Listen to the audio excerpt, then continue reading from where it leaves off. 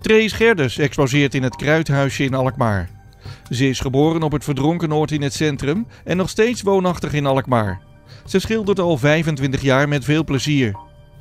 Sinds zij niet meer werkt, besteedt zij meer tijd aan het schilderen. Trace heeft verschillende workshops gedaan en een jaar kunst en vormgeving bij Creat, de nieuwe academie, en nu volgt ze de academische jaren bij Creat. Haar werk was voornamelijk figuratief, geïnspireerd door beelden van mensen waarin kwetsbaarheid en emotie te zien is. Het laatste jaar heeft zij zich volledig gewijd aan het thema Ode aan het Nederlands landschap. Ze haalt haar inspiratie uit de natuur en uit alles wat groeit en bloeit: de zee, de duinen en de weilanden. Trace Gerders werkt voornamelijk in acryl.